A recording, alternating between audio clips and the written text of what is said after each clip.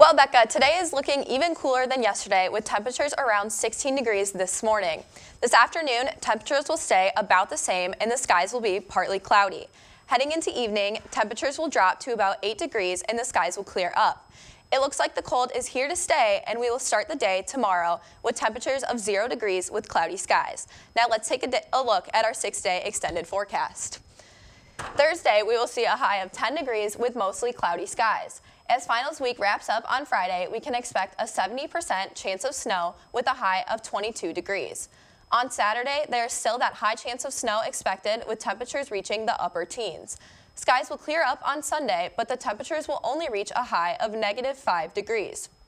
Moving into next week, we can expect a high of 11 degrees on Monday with clear skies. Tuesday will be our warmest day of the week with clear skies once again and a high of 23 degrees. That's all I have here in the weather studio. Becca, back to you.